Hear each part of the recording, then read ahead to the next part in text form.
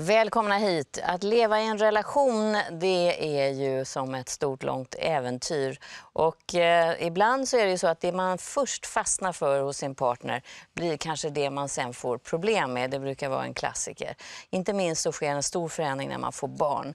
Jag har bjudit in eh, Egil Linge som kommer att sitta här bredvid och lyssna. Han kommer strax in. Eh, KBT-terapeut och parterapeut också. Har mött många som, där problemen redan har uppstått. Men eh, nu har jag Paula Uribe Yes. här som är bloggare, framförallt. Och du har varit väldigt öppen och bloggat om vad du känner och hur du tänker och i, med din relation. Och så Hugo Rosas, välkommen hit, Tackar. som är bloggare och entreprenör får man bara säga. Under den paraplyet, hur många företag har du? Eh, Just nu så driver jag två företag. Mm. Och det är bara två kanske? Du brukar ha ännu fler eller? Inte just företag, men eh, det är alltid en del sidoprojekt som, som, som kommer in. Milt uttryckt, för det man läste jag blev nästan andfådd. Du tränar, du driver företag, du bloggar, vad gör du mer? Eh, Jag är pappa. Ja, ehm, ja, och sambo. Och sambo. Eh, Och snart ska ni flytta. Snart ska vi flytta. flytta. Ja. Och det här är ju så roligt, för eh, alldeles innan ni satt er här så sa Paula att eh, det här tycker jag ska bli jätteläskigt att flytta. Och då så säger du, Hugo, vad roligt. ja, jag tycker att eh, det är underbart med nya grejer som händer i Ja. livet. Och- Är det lite ett nötskal? Lite ett Vad är nötskal, ja. skillnaden mellan er två? Det är nog den största skillnaden mellan oss. Att Jag är den som är... Det tar lite tid för mig att känna mig trygg med någonting. Och när någonting är tryggt för mig då kan jag verkligen klamra mig fast vid det. Medan Hugo på bara en sekund kan släppa det och se en trygghet i något annat. Och där kompletterar vi lite varandra i nästan allt. Alltså, ni möttes ju i den här tävlingen Wipeout som Mm. är i Argentina för tre år sedan. Då kan man ju bara direkt tänka att du också är intresserad. Det är sådana äventyr och risktagning och Men så- rätt läbbiga grejer skulle jag tycka. Ja, men det är på, alltså, trygghet, då menar jag till exempel i vår vardag. Det tycker jag tycker är läskigt som att flytta. Men Mm. att vara med i Wipeout, hoppa, göra hinderbanor, eh, hoppa ner, alltså, och dyka från klippor. Sånt är inte läskigt. Sånt är skitkul. Mm. Sånt skrattar jag och sånt blir jag lycklig av. Och både jag och Hugo tycker att det är väldigt kul att skratta och vara aktiva. Men på de, i den fronten är vi nog väldigt lika. Ja, det där är Eh, någonting det som... här, eh, det är där ja, vi möter varandra. Mm. äventyrliga kan man väl säga till viss del. Även fast jag tar det mesta till en ny nivå. Men Han har hoppat från Västerbro. Men- så där, det Du är ju- måste till ja. en ny nivå hela tiden, låter det som. Eller öppna någon ny dörr och se vad som Ja. är bakom. alltså, jag kan inte riktigt sätta fingret på det, men jag... Eh, eh, det är väl någonstans att man inte riktigt... Man blir nästan aldrig nöjd. Eh, Men nu har, har ni fått barn, ja. sen ett och ett halvt år tillbaka. Mm. Ett och ett halvt år. Lilla Molly. Och, eh, vad händer då, då? Barn, då vill de ju att man ska vara där och närvarande. Då kan du ju inte bara dra iväg hela tiden Nej, på nya äventyr. nej, och det... mm, Eh, när, när, eh, när Molly föddes så var ju... Där kom ju den största omställningen. Mm. Och i början var det svårt. Man går från eh, ingenting till att eh, helt plötsligt ha en familj eh, att ansvara över. Och, eh, så att i början kommer jag ihåg att det var, var svårt för mig att eh, ta hänsyn till eh, Molly, till eh, Paula och bara... Alltså, det tog ett tag för mig att fatta att jag har faktiskt en familj. Men det där kom väldigt fort också.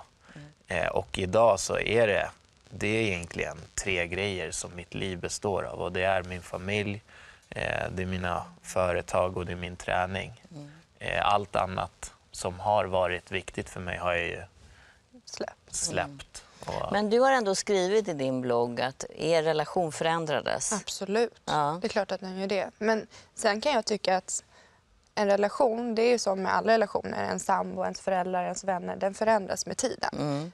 Oftast till något bättre eller så kan det bli att man ja, tappar banden helt. Mm. Så som det kan vara till exempel med vissa vänner.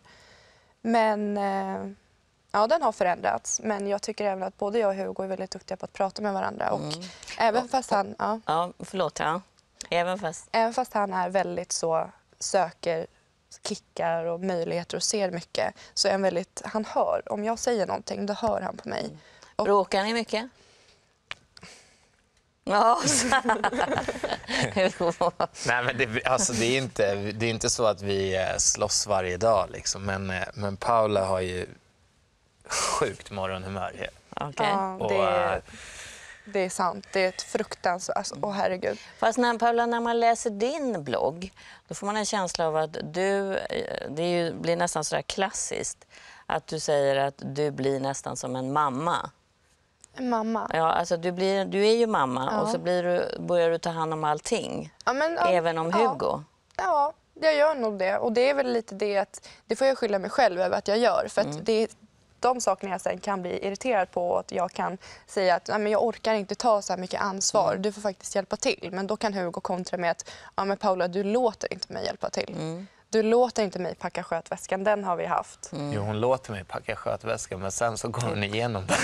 Och ser om du har gjort rätt. Ja, och jag har aldrig gjort rätt, för jag gör på mitt sätt. Ja. Och Paula gör på sitt sätt. Och det här är en så här typisk grej som vi Ja, kan börja tjafsa om. För att jag tycker, att, jag tycker att hennes sätt att göra saker är lika mycket rätt eller fel. Som, alltså alla har sitt sätt och inget är rätt eller fel. Det är jag som bestämmer hur jag packar min resväska och Paula bestämmer hur hon packar sin. Så att där, det, det är ofta där också det, det blir liksom att hon kan inte förändra mig i hur jag ska packa min dotters skötväska. Och glömmer jag någonting Då Ja. får du stå ditt Ja, kast. för mig så är inte det en big deal. Glömmer jag mat eller glömmer jag hennes nappflaska, glömmer jag kläder, blöjor, vad det än är, så löser jag det. Pa- Men det litar det- inte Paula på riktigt, eller gör du inte det? Jo, jag litar på Hugo. Det gör jag. Jag litar på honom till 100 procent. Men jag vet om att han är glömsk och disträ. Och det är... Tror du att din dotter skulle svälta? Nej, eller? nej, nej, men han, för han klarar ju det. det. Det var som någon gång när han glömde både blöjor och skötlappar och han skulle till gymmet. Och då var det så att Molly liksom la nummer två. Och då stod han där och bara, "Aha, Mm. Men det okej." var ju hans problem. Ja, precis. Och han fixade det. Och då var det så, här, då var det så att men då kunde jag skratta åt honom när han berättade det efter och känna lite. Men annars blir du irriterad. Nej, alltså, nej, inte irriterad. Jag kan väl bli mer att jag, jag är så jävla mån om henne. Förlåt nu svor jag. Jag är väldigt mån om att Molly ska ha det bra och att allting ska vara underlätta för honom själv när han väl är iväg. Och då vill jag typ kunna hjälpa om han inte fixar det själv. Men det måste jag, jag måste släppa på det. Men eh, du, skri du skriver och an rakt ut på din blogg att du tror att, Hugo, att Hugo möjligen har ADHD. Det har jag skrivit och eh, jag och Hugo pratade om det och eh, Vad känner du för det? Alltså, jag får ju höra det rätt ofta. Ja. Men eh, Hugo har inte gått en utredning Nej. och det var en... så länge man inte är dömd så är man oskyldig. Du, du har ingen lust att ha någon diagnos. Nej, men jag mår ju bra och eh, jag är glad och eh, så här, eh, det är, jag ser det som någonting positivt. Det är, jag, man, man föds med olika egenskaper och eh, om jag nu har ADHD så, så är det någonting som jag inte skulle vara ledsen över att ha, utan det, det hjälper mig. Men om du ska vara självkritisk, har du, du, för du har ju också skrivit och varit självkritisk om att du gör folk besvikna för att du drar iväg hela tiden innan, innan du stannar upp och tänker. Inte bara Paula utan... Men det har nog varit mitt eh, största issue i livet med att jag eh, eh, sårar människor som är eh, nära mig. Eh, och det- Omedvetet oftast. O, a- a- alltid, Alltid omedvetet. omedvetet. Vad, hur, hur sårar du dem? För att för mig så... Um, så jag kan bara... Det senaste exemplet, nu har jag varit iväg i Sundsvall och spelat in en grej. Och eh, eh, då har jag så mycket annat att tänka på. Och Paula har var på mig till, innan att jag måste höra av mig till min familj och jag bara tänkte på det. Och det jag vill ju höra av mig till min familj. Men sen så går det en hel dag och så klockan sju på kvällen kommer jag på shit, jag har inte ringt och kollat hur det är med, med Molly och Paula. Och då har det gått en hel dag. Och för mig så är inte det så här, för jag, jag tänker ju på dem hela tiden. Men just det här att jag kanske inte hör av mig eh, och visar, kanske inte dyker upp på, på Passar saker. tider och sådana grejer. När det kommer till jobb och sådana grejer så passar jag alltid tider. Men när det kommer till, till sånt som, äh, det spelar väl ingen roll om inte jag kommer. och så dyker jag inte upp när det kanske är en familjemiddag eller vad det nu är, hör inte av mig heller. För mig så tänker jag just då att det inte är en så big deal. Jag ringer imorgon och säger att eh, när jag fick förhinder. Men jag vet, har fått lära mig i efterhand då väldigt mycket att det är så jag sårar de som är nära mig. Liksom. Mm. Du la din hand där på Ja. Hugo. Ja. Mm. Jag tycker att det är starkt av honom att prata om det. Mm, det är det. Tycker jag. Ska vi höra vad Egil säger? För jag Ja. tror han har mött de här typen av eh, problem eller eh, relationer där man är olika helt enkelt. Hur hanterar man det? Eh, och hur löser man det istället för att ge upp och gå isär? Alldeles strax så kommer han, Egil här. Egil, välkommen hit. Tack. Egil är ingen som har suttit bredvid och lyssnat. Vi hade här under reklamen också ett snack om den nya flytten eh, som ska gå till ett nytt hus som ska byggas. Och det låter jättekul, men då var frågan hur länge vill Hugo bo kvar där, undrar du? Ja. Det, det, är liksom, eh, det finns både mycket lek och lust och sen ser det ut som att det inte alltid är lätt att få ihop det. Nej, jag tycker när jag lyssnar så här var så naturligtvis en del av det man pratar om påminner ju lite om ADHD. Sen behöver det inte vara det, liksom, men det finns ju vissa saker som påminner. Och det som är ofta är svårt i de relationerna, det är ju inte den som har, säger vi, diagnosen eller problematiken, utan det blir ju för den andra. Och det människor brukar då söka för, det är att eh, den andra då känner att den får inte riktigt uppmärksamhet, får inte riktigt bekräftelse. Eh, om det är killen som vi säger har den problematiken så verkar han inte alltid vara där när man sitter och pratar, liksom är i sina egna tankar.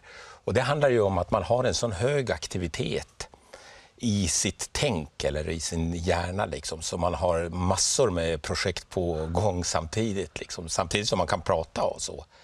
Och det- gör ju att den andra personen kan ju hamna i situationer där man inte känner sig sedd eller eh, som du berättade här i intervjun med föräldrar då som väntade att du skulle kanske komma och så dyker inte upp för de har så mycket annat att tänka på. Va? Och, och att det skapar en ond cirkel på det sättet. Hur ska man hantera det? Känner du igen dig i det? Ja, Ja. det gör jag. För man kan ju tänka sig också att det här livet runt Hugo blir också väldigt roligt och lustfyllt och kul. Eh, och att du skulle kunna tänka mig vara lika mycket energi i ditt fokus som du har i dina tankar. Eh, Att fo- fokusera till exempel på samtalet. Du har ju ett väldigt fokus nu när du och jag sitter och pratar. Ja, precis. Ja. Eh, Jag har inget val. Nej, precis. Nej, men det, det stämmer eh, faktiskt, måste jag erkänna. Jag försvinner bort i egna tankar. Och, men, eh, Men du kommer ju tillbaka kommer när jag påpekar det. Ja. Så Men får- du, du sa också Paula att eh, Hugo kan vara som glömsk. Ja. Och det är också ganska typiskt för det här när man har den här höga aktiviteten, då glömmer man saker. Samtidigt blir man, som ni berättade, också väldigt skicklig på att lösa problem. Som ni pratade om eh, Molly. Att eh, det behövs inte exakt den jackan och sådär. För uppstår problem så är ju den som har en, vi säger en hög aktivitet, den hittar alltid lösningar på det här. I och för sig, det kan bli lite tokigt när man kommer kanske med sommarjackan och det är minus 20 ute eller eh, på det Så sättet. illa är Men, det men man, man hittar lösningar på det sättet. Men, men vad jag undrar, nu fokuserar vi väldigt mycket på Hugo, men om vi, om vi tittar på Paula då som ska leva eh, och för du hade dåligt morgonhumör och du har dina grejer. Precis, det gäller ju att jämka också. ihop sig här. Absolut. Och inte bli den som blir tråkig vill man inte heller ha den Nej, rollen. men det är ju, ska man få det att fungera, då måste man ju samarbeta. Det är ju det absolut viktigaste. Man måste förstå hur den andra tänker. Paula måste förstå hur Hugo tänker, liksom, att han blir, går i- snabbt igång på saker. Och Hugo måste ju tänka att fasiken, det blir nog inte så bra för Paula om hon har gjort en middag och jag inte dyker upp. Då kanske hon blir ledsen eller förtvivlad. Eller... Det kommer, han på, det kommer ju du på senare, Ja. låter det som. Men då kan man ju lära sig att bli mer observant. Eh, bli bättre på att skriva upp. Sätta telefonen på att den ska ringa då Små en knep timme. Jag menar, man måste använda olika strategier för att Prata aldrig med Paula innan hon har fått frukost, är mitt tips. Nej, jag, på, morgon, på morgnarna håller jag mig borta. Ja, Men nej, men vi, eh, alltså det, vi, har ju, vi är ju väldigt olika. Men jag måste ju också eh, få säga att vi, vi har ju, alltså tycker jag, världens bästa förhållande. Och eh, vi kompletterar varandra väldigt bra. Och eh, så här, jag utan Paula finns typ inte, känns det. Alltså, så, det är så jag känner på riktigt. Och, eh, jag har mina brister, men Paula har också sina också. brister. Så det gör ju han tvärtom för mig. Och, eh, Men, men jag tänker det här med att samarbeta, är inte det att fokusera på vad man är bra på också? Absolut, för det finns ju fördelar med, med, med både Paulas sätt att kunna organisera, strukturera, vilja ha kontroll. Och det finns ju fördelar med Hugos sätt att ha en hög aktivitet eller vara en idé, spruta på, på olika sätt. Men det är viktigt att förstå det här därför att eh, jag läste också att du tränar väldigt mycket. Och man måste också veta att den här höga aktiviteten, eller förmågan att tänka, skapar ju en stress. Så det är ju ganska vanligt att tjejer och killar som har en, en, en sån här sprudlande förmåga också behöver träna jättemycket. För det är det enda sättet att få ner den här stressen. Så att man inte ser att träningen är ett sätt att undkomma passa barn eller någonting, Nej. utan att det, det verkligen behövs. Det är Hugos passion. Ja. Vad skulle Det- du ge för råd då? För det, är, ju- det här är ju två människor som älskar varandra och vill leva ihop. Eh, innan det liksom, de här olikheterna växer för mycket, vad, vad, hur ska man göra? För man Nu- kan ju inte göra om varandra. Nej, men just nu då går det jättebra. Det är inte så mycket man behöver göra om. Men det finns ju vissa saker att ta hänsyn till och det är ju att det är viktigt med struktur, det är viktigt med sömn. Eh, Dålig sömn eh, kan ju skapa jättestora problem. Det kan vara viktigt att hålla kost. De där Det finns, ja, det finns olika saker man kan göra för att balansera systemet bättre. Men det här som är klassiskt är att man vill göra om varandra.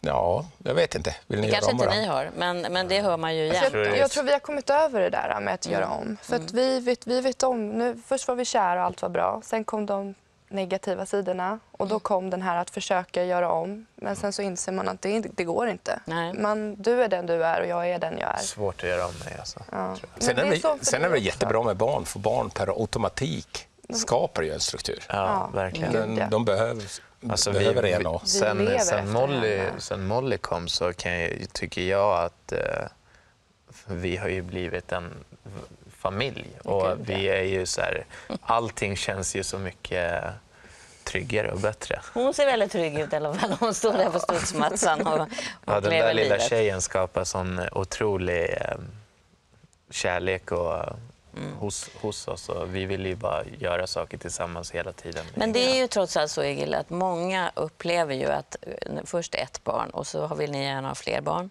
Alltså det är ju visserligen struktur, men, men det är också så att det blir också påfrestningar. Det kan man inte komma ifrån. Det är en belastning. Absolut. Hur, hur tänker man? För jag vet att du har till och med par som har fått i bröllopspresent att gå till dig innan det händer. Mm. Ska, hur ska man förbereda sig? Jag tror att det handlar ju om kommunikation. Har ett par ett förmåga att kommunicera och se saker, att nu förändras vårt liv. Ni verkar ju ha en bra kommuni- kommunikation. Va? Så kommer man ju jättelångt med det. Det kan ju också vara bra att intervjua kompisar som redan har barn, även om man får skräckhistorierna. Då Ja, herregud, det gjorde jag. Sen slutade jag efter första, första Men, men, intervjun. men, men det handlar ju mycket om att få kunskap. Ja. Men jag tänkte så här Paula, hur blir det för dig när du inte tycker att Hugo uppmärksammar dig eller inte kommer på din överraskning? Hur tänker du då? Först kan jag nog bli väldigt... När jag är ledsen, då är jag inåt. Jag säger inte att jag är ledsen. Jag är tyst. Och det brukar du märka. Du brukar märka när jag är tyst. Då vet du du att då är det någonting som är... Då är det inte bra. Men sen så kommer det alltid till en punkt då jag... Alltså då, då kan det vara att han har gjort saker, att jag inte känner mig sedd eller att jag typ fått göra det stora lasset. Att känna att mina behov alltid kommer längst, längst, längst bak. För att Hugos och Mollys är de, de är viktigare än mina egna. Och då kommer det kanske vara en liten, liten grej som gör att jag nästan exploderar och säger allting hur jag känner. Och alltid när jag exploderar så lyssnar ju du. Du, du tar ju alltid mig på största allvar när jag väl säger att nu är det så här, nu Och där ligger ju lite svårigheten, därför många som har en hög aktivitet, de får ju som en kritik av andra. Fasiken, du kom inte eller du ställde inte upp och sådär. Mm. va. Så det kan ju på sikt ge en dålig självkänsla på ett sätt. Så det är verkligen viktigt att man uppmärksammar varandra. Och jag tänker för dig Hugo så skulle det kunna vara bra att, att överraska, och det kanske du gör, Paula på olika sätt. Att du liksom påminner dig, eftersom du förmodligen missar ibland när hon vill ha uppmärksamheten, för du har så mycket att göra, så kan det vara bra att tänka att ja, den 12 varje månad så eh, ska jag hitta på någonting. Och ha, för då, då, då får man ju en sorts bekräftelse. Absolut. Men det, så fort, vi var i New York bara nu för någon vecka sedan. Och när vi kom hem då kände jag mig som nykär för då hade vi inga telefoner som så här Men distraherande. det var ju kul hur jag bokade den. ja, Det var ju lite han, nervöst. han överraskade mig. Ja. Det kan du berätta om. När hon var ute och sprang så, så köpte jag biljetter till New York. Så först blev du ju sur. Bara, inte det datumet. Nej, men det, det, det skulle inte passa i tiden men sen så la jag mig. Eh, nej, men jag tror, jag bruk, faktiskt brukar jag tänka på Ja, det för att, eh, för att överraska och göra, göra någonting litet extra. Bara för att, men det bästa som finns för mig är också så här, det, det är ju, jag njuter ju inte av att se att Paula är besviken på mig. Det är, det är någonting som jag gör, nog, det gör nog ondare i mig än vad det gör i Paula. Och att se henne däremot bli glad och se henne älska mig och tycka bara, gud vad fantastisk du är. Det är ju en, alltså en endorfinkick som det går inte att jämföra med någonting. Så att jag brukar alltid tänka på, men om jag kan göra det här för henne så, så kommer det. Och, Men det, du, du har givit rådet för att det är bra att tänka hur blir det om vi byter roller ett tag? Det är ganska intressant om man börjar prata om det. Mm. Skulle ni kunna göra det? Jag tror inte jag skulle orka med att gå stämpel om jag ska vara ärlig. Jag skulle bli helt utbränd. Fast det är ganska bra för då sätter man sig in i Ja, att, få, att, att förstå den andra, det är ju det det handlar om. Att kunna förstå. Va? För naturligtvis ibland när du blir besviken och så, så är det inte säkert att du vet varför. Du Nej, kan ju klart. ana, men det är ju inte säkert du vet riktigt. Och det är ju där det behövs kommunicera. Att När man ser den här besvikelsen, att fråga vad, vad har hänt nu? Det är ju inte givet att du har uppmärksammat Nej, det. men vad- så är det ju faktiskt vissa gånger när, när du har, varit sur eller och bara... Jag har ingen aning om vad... Och sen så bara får man liksom... eh, Hela alltet på en gång. Ja, och bara... Som att du inte vet. Bara, eh, nej, jag vet inte. Kommunikation, det är väl det bra, Ja, bästa som jag och slutar med. Ja. Hörrni, vad ni var härliga som också berättar så öppet om det som ni delar med så många tror jag. Ja, Tack för att ni kom hit. Tack Ingrid. Tack så jättemycket.